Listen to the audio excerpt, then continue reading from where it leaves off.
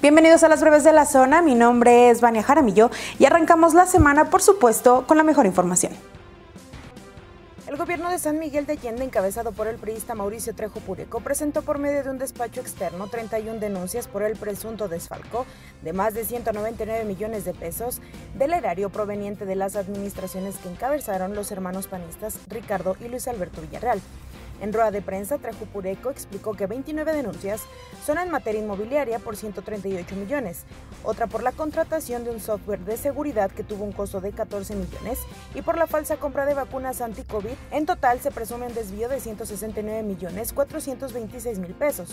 Dichas denuncias ya se presentaron en la Fiscalía Especializada en Combate a la Corrupción. El alcalde priista aseguró que estas denuncias que se presentaron en días pasados no se tratan de un revanchismo político ni de partidos aunque sí se observa la participación directa de los exalcaldes, además de nueve funcionarios y ocho desarrolladoras.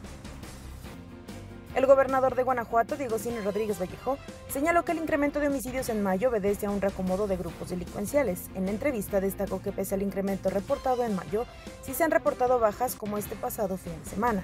Y es que esta mañana la secretaria de Seguridad y Protección Ciudadana a nivel nacional, Rosa Isela Rodríguez, reportó un incremento en los homicidios dolosos en todo el país. De acuerdo con la información presentada, Guanajuato, Michoacán, Estado de México, Baja California, Jalisco y Sonora lideran con el 50% de los homicidios dolosos en el país. Con respecto a Guanajuato, la funcionaria federal señaló que se reportó un alza de 72 víctimas más en comparación con el informe pasado.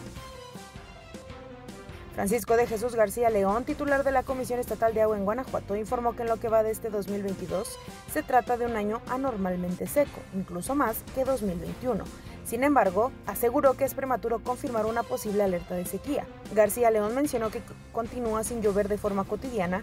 Para esta temporada se esperaba que hubiera más de 100 milímetros de lluvia, sin embargo, no ha pasado de los 10.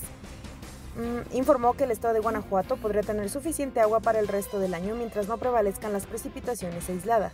De lo contrario, se tendrían que aplicar medidas. Por otro lado, debido a las pocas precipitaciones, señaló que se pronostica ocurran lluvias torrenciales en distintas partes del estado durante lo que queda de temporada.